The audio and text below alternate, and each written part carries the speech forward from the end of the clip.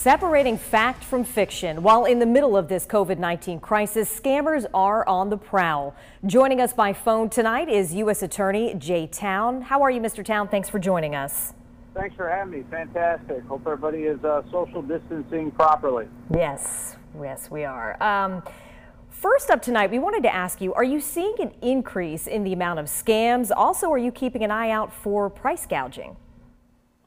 Sure. Well, I, I think that uh, the seeing these increases will probably play out over a much longer period of time just because people have to realize they're a victim first. So I'm not so sure that everybody uh, might have that realization just yet. But as far as price gouging and, and hoarding goes, the Attorney General of the United States, Bill Barr, uh, just recently with the president, uh, just a few about an hour ago, in fact, mm-hmm. uh, was very clear that individuals hoarding supplies at an industrial level, with the, entire, the intent of disrupting the supply chain for the purpose of manipulating our markets and then ultimately deriving windfall profits or price gouging, they'll be getting a knock on their door very soon. And uh, my office has uh, designated a coronavirus coordinator, and he's a senior prosecutor in our white collar division, and, and he's teamed up with Secret Service and FBI and our two-letter agencies and our local and state partners to to make sure that we are protecting the public best we can uh, from a variety of the frauds that we are seeing across the country and that we're sort of expecting here in the Northern District. How, um, for people that may be watching this, how, if, if they feel like they are a victim of price gouging or they suspect that in their area, their neighborhood, what should they do?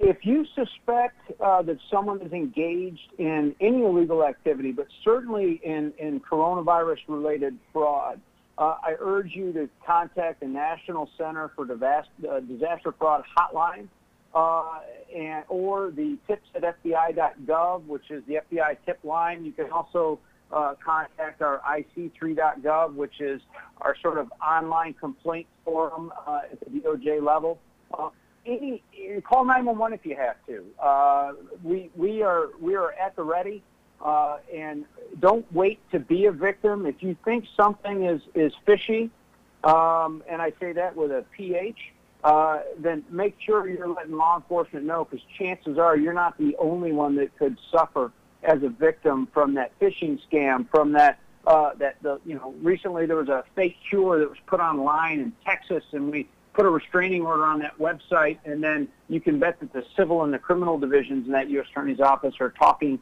right now about holding those individuals uh, responsible. So, uh, and be, be on the lookout for, uh, you know, folks uh, in, involved in char- uh, what appear to be charitable functions or crowdfunding.